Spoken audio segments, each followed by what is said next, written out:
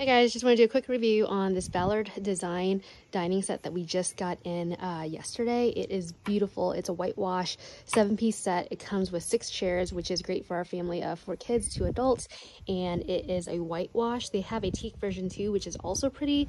They come with cushions and last night it rained, which is horrible, and it kind of stained this. I'm hoping it comes out in the wash, but overall it's beautiful. I 100% know that I overpaid for it. Shipping alone was like $300, but shipping included JB Hunt actually putting this together so I didn't have to worry about it. Um, this uh, carpet, it's white, it's made for the outdoors, and I know it's already dirty, um, but um, I am YOLOing with this purchase. We've been waiting quite a bit for this. We actually had a teak patio set that was like just a lounge piece of furniture, but because I'm working from home, I just wanted a table where I could sit and work um, in the morning and in the afternoon. So there you have it. That is my review of the Ballard Design Table.